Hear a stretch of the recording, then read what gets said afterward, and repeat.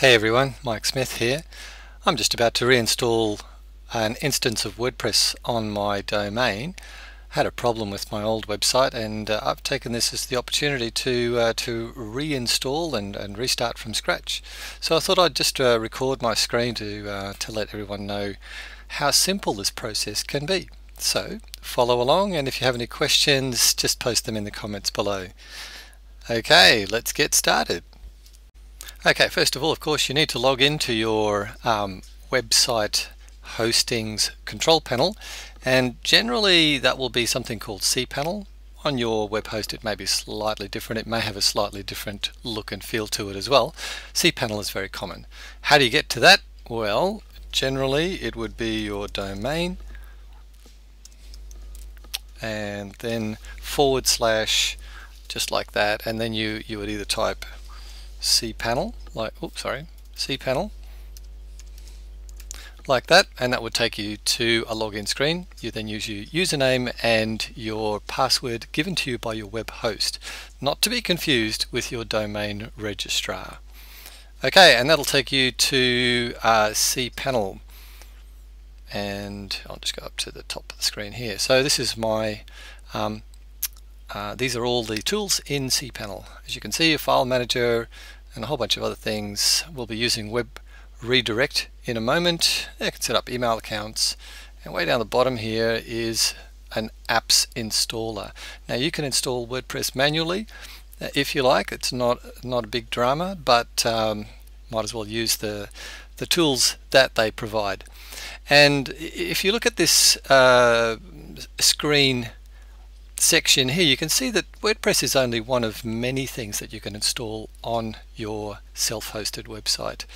Joomla is another content management system, shopping carts, um, and a whole bunch of other possibilities here. So, so WordPress is uh, possibly, arguably, the most common thing that you would probably install on your website, um, and but it's only one of many. Now the reason I point that out is because I'm going to install WordPress onto a subfolder uh, on my site and um, and so and the reason for that is because I may install another application into another subfolder. So I'll show you that as we go along. Okay, so the first thing, uh, as I mentioned, is um, I want to install my application into a subfolder. Well, what I mean by that is I want it to live in a folder on my domain which I'm going to call web okay?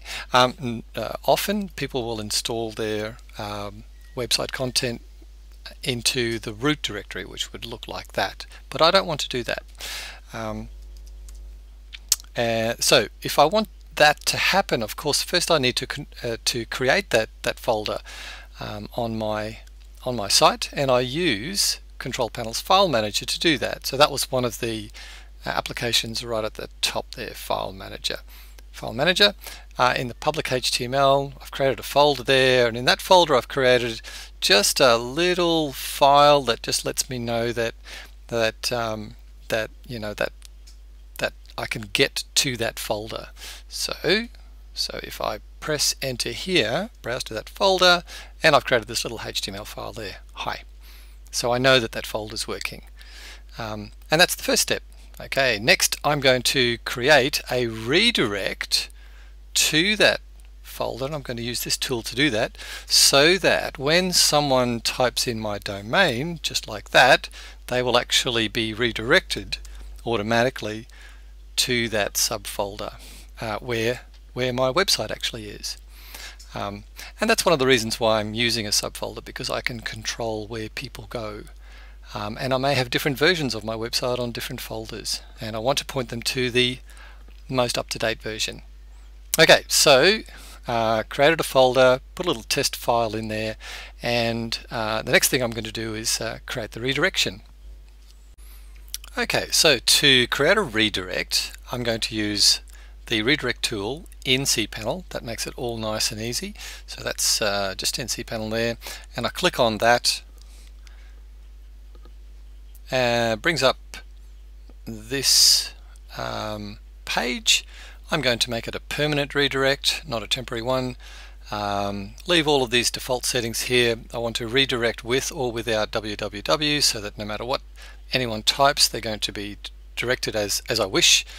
And uh, as you can see I've already done this but all you would need to do to create a new one is type in um, um,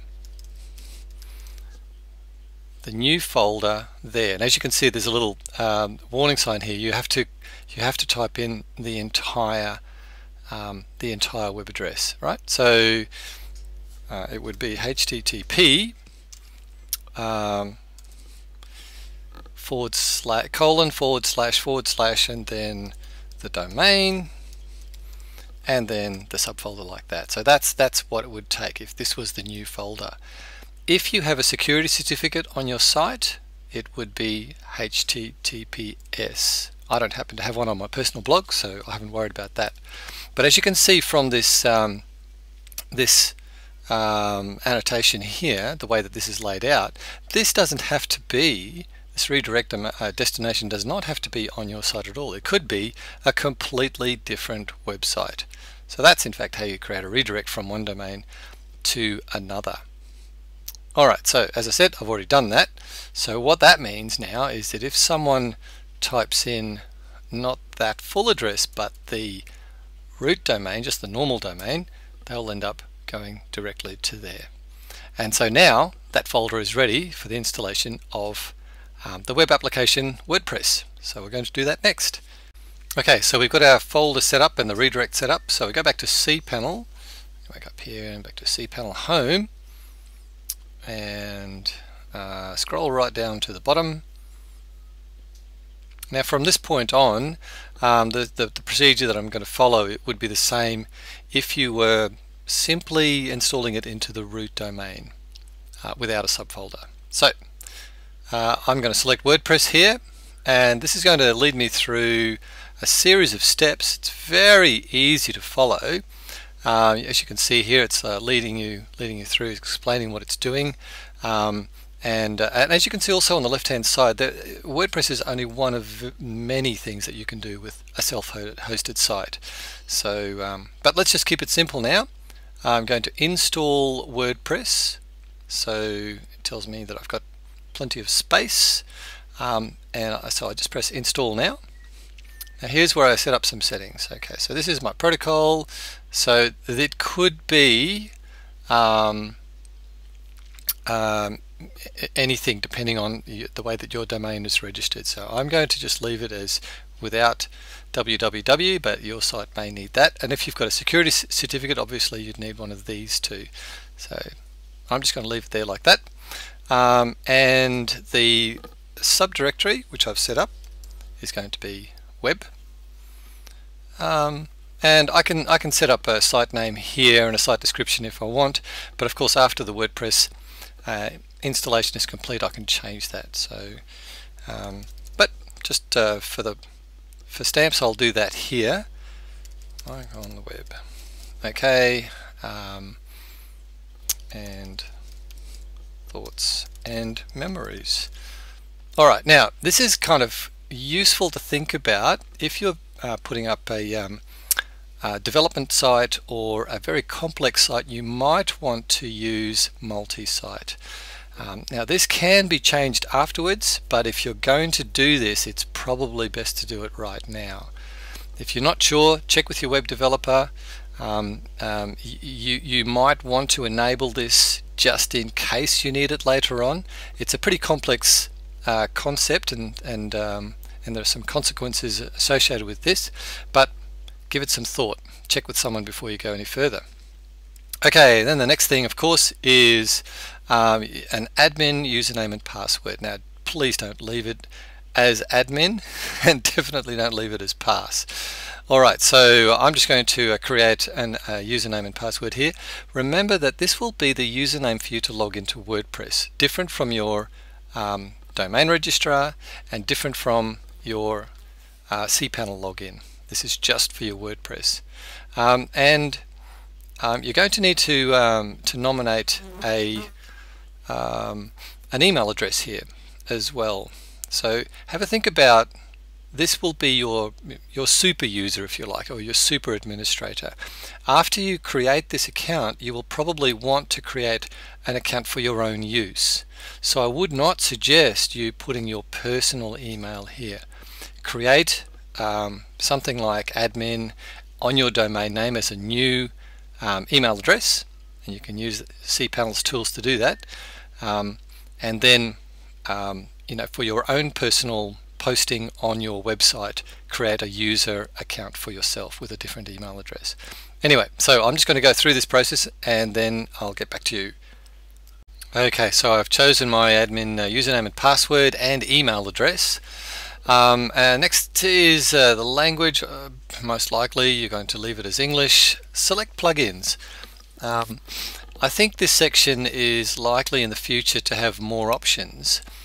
Um, this this is a very common and quite a useful um, safety feature of WordPress. Um, this plugin allows you to limit the amount of incorrect logins on your website. So if someone tries to log in, makes a mistake three times or five times or whatever, they will be locked out for five minutes, 10 minutes, 20 minutes, um, according to the settings. What I do is I tend to enable this and then disable it afterwards, uh, just while I'm developing the website.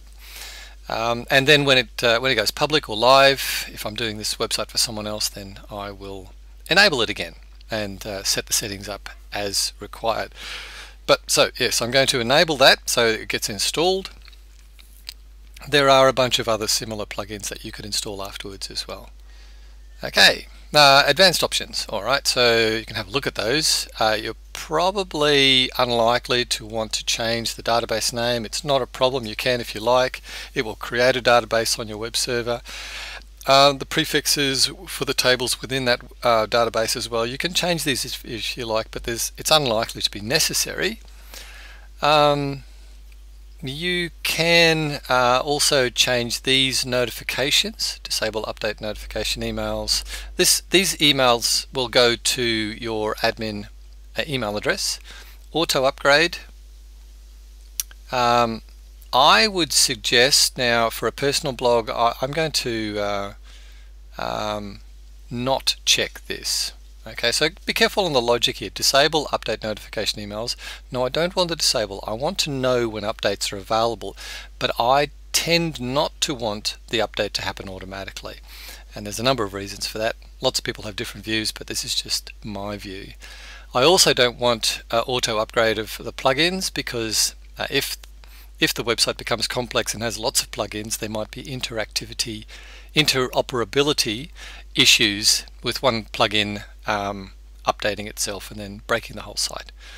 Uh, I also don't want to do um, upgrade of the WordPress theme. So I want to know about them, but I don't want it to happen automatically. That's just my preference.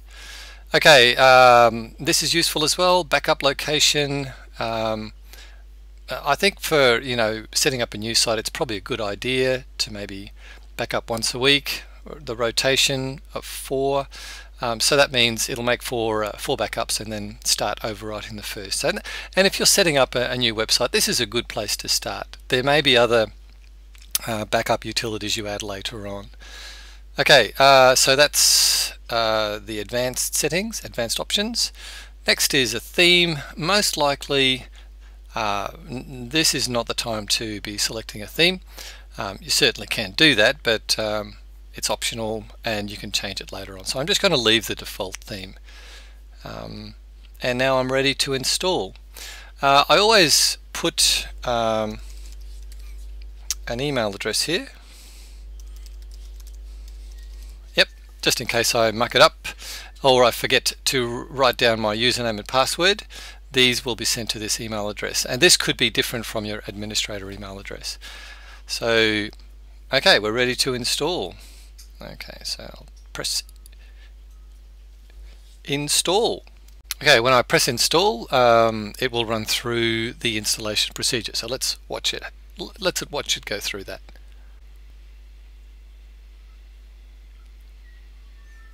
As you can see, uh, it's not going to take very long. Aha, and I've created, an, uh, I've, I've uh, caused an error. um, so the mistake that I've made is this particular installation script is not happy with the fact that I've already created a directory. So what I'm going to do is uh, delete that directory and then uh, just press install again.